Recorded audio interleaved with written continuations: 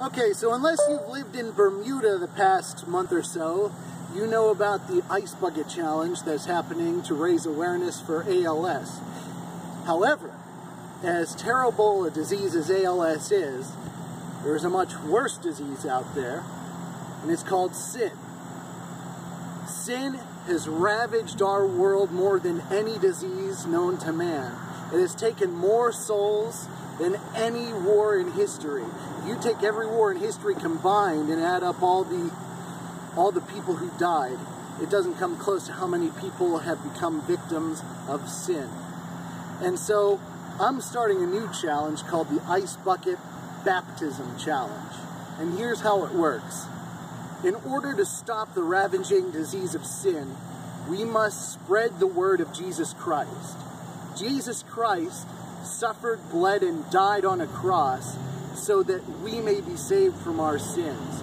And in case you think you're not a sinner, you are. There's not a single one of us who isn't.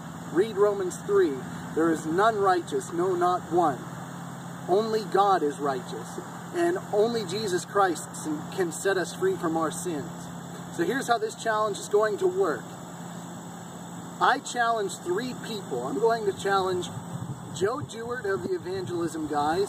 I'm going to challenge Pastor Stephen Wilson of the Baptist Church in Romney, West Virginia.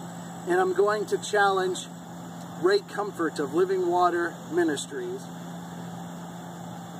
to take this ice bucket slash baptism challenge. And you can either, the way, the, it's sort of the way the ALS ice bucket challenge worked. You can either uh, have an ice bucket dumped on your head, sort of symbolizing a baptism, or what you can do is you can spread the gospel to nine people that you know. All right, Joseph, douse me. Ready?